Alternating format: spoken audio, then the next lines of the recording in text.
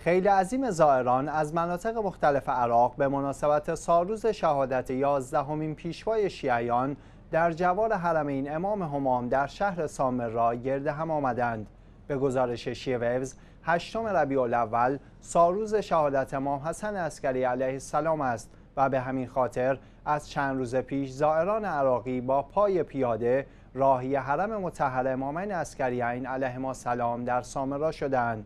در همین راستا تدابیر شدید امنیتی در مسیرهای ورودی به سامرا اتخاذ شده و هیئت‌ها و مواکب زیادی نیز در حال خدمت رسانی و پذیرایی از زائران هستند. همچنین بخش های مختلف آستان مقدس عسکریان نیز تمامی امکانات و خدمات لازم را برای زائران فراهم کردند مواکب امسال نیز در حال پذیرایی از زائران مراسم شهادت امام حسن عسکری علیه السلام از مناطق مختلف عراق هستند. امسال زائران کشورهای مختلف از جمله ایران در این مراسم حضور ندارند یا تعداد آنها بسیار کم است.